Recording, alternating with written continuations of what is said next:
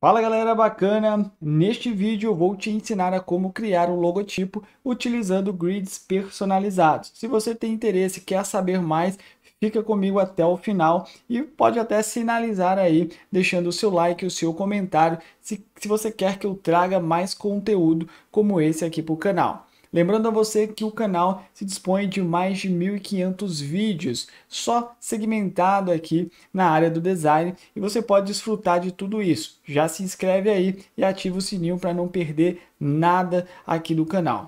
Eu vou começar aqui este vídeo utilizando a ferramenta Mão Livre para criar o grid. Eu vou clicar e com o Shift eu vou criar uma linha reta na vertical. Agora eu vou utilizar uma técnica de cópia, que é o que?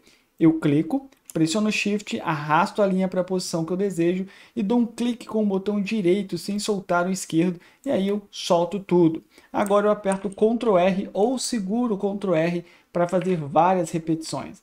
Após as, as, repetições feitas, eu vou simplesmente clicar aqui sobre uma dessas alças e com o Shift pressionado eu vou puxar para cima. Puxei para cima, eu posso dar um Ctrl G para agrupar. Agora sim, eu vou clicar e vou rotacionar com o Ctrl pressionado aqui mais ou menos no ângulo de 30 graus. Depois eu vou fazer a mesma coisa, só que agora o inverso. Vou trazer aqui para o ângulo de 330 graus. Agora sim, eu vou voltar o meu objeto para a posição normal e eu vou ter exatamente esse grid aqui. Esse grid é bem legal, ele tem um formato de uma estrela que é bem diferenciado, né? Veja agora o quão interessante é que você pode utilizar em conjunto a ferramenta de preenchimento inteligente. Essa ferramenta, como o próprio nome já diz, ela faz preenchimentos inteligentes. Ela consegue identificar o espaço vazio e ela consegue preencher aquele espaço com uma cor. Para você adicionar uma cor a essa ferramenta e ao seu preenchimento, você vai vir aqui na barra de propriedades com a ferramenta selecionada e vai escolher a cor.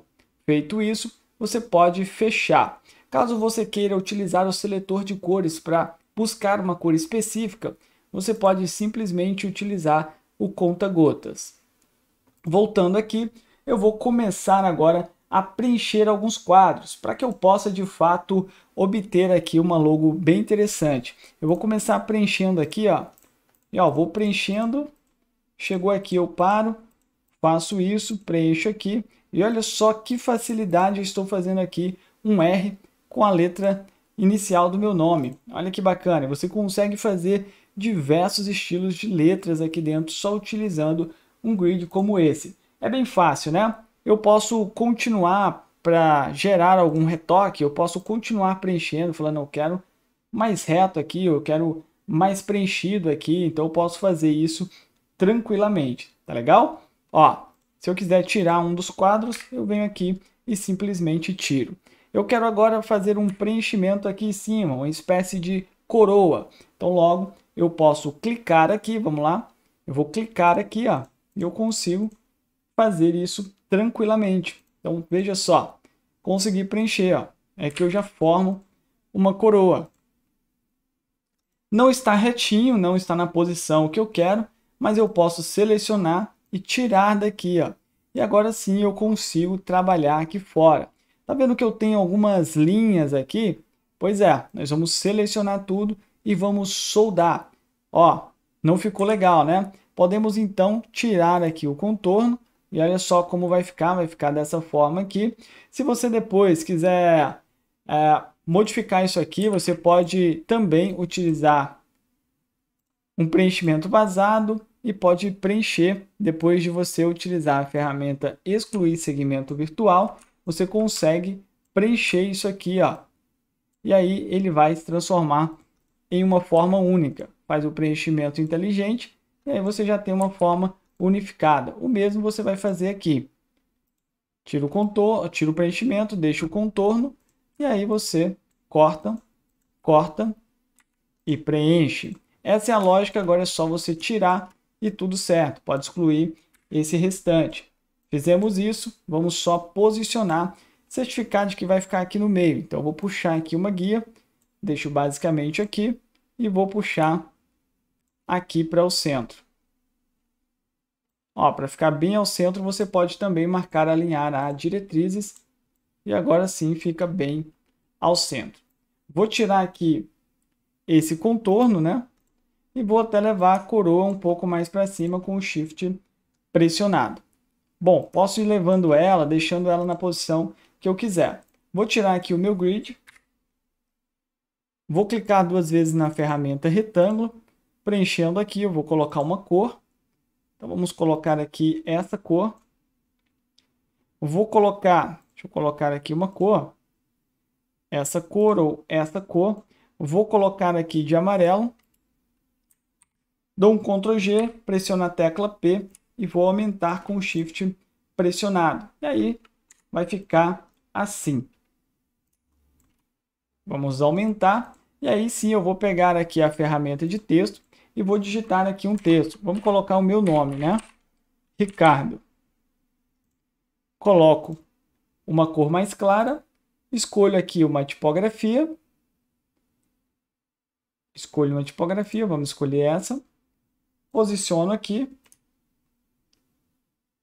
Inclusive, eu posso trabalhar o espaçamento.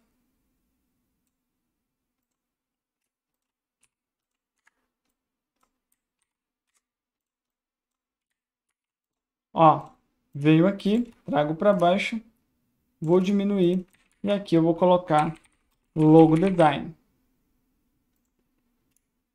Vou centralizar.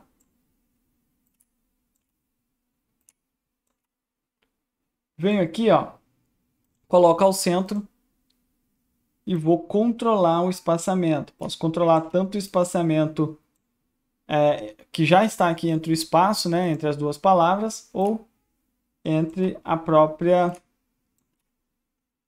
os próprios caracteres, né? Então vai ficar basicamente assim. Vamos trazer um pouco mais para baixo. Eu posso, inclusive, trabalhar mais aqui na tipografia, deixando um peso um pouquinho maior ainda, utilizando aqui um black. Ó, calma aí. Isso, utilizando um black. E aqui embaixo eu posso deixar essa tipografia mesmo. Vou agrupar tudo, vou pressionar a tecla P para ir para o centro. Vou pegar aqui, fazer uma cópia e vou colocar um branco do lado. Pego aqui esse texto, agrupo, dou um Ctrl C, um Ctrl V, coloco tudo nessa cor e jogo para o lado. Ou posso pressionar Shift, seleciono aqui o quadro, aperto a tecla C, a tecla E e tudo certo.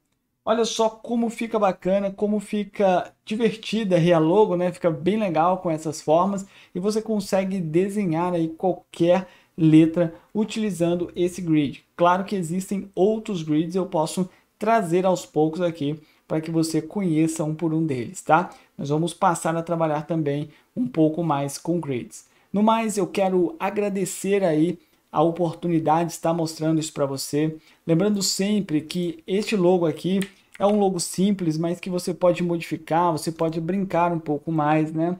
Você pode criar aberturas, fazer diversas coisas aqui, dando intenções diferentes ao seu grid, então a, a, sua logo, né, ao seu ícone. Então brinque bastante, deixe aí a criatividade fluir, aproveite essas aulas para você aprender, já nos segue aí já se inscreve no canal para você não perder nada, né? Nos segue também lá no Instagram, CoreSnake underline oficial. No mais, só agradecer, meu muito obrigado e até o próximo vídeo. Forte abraço!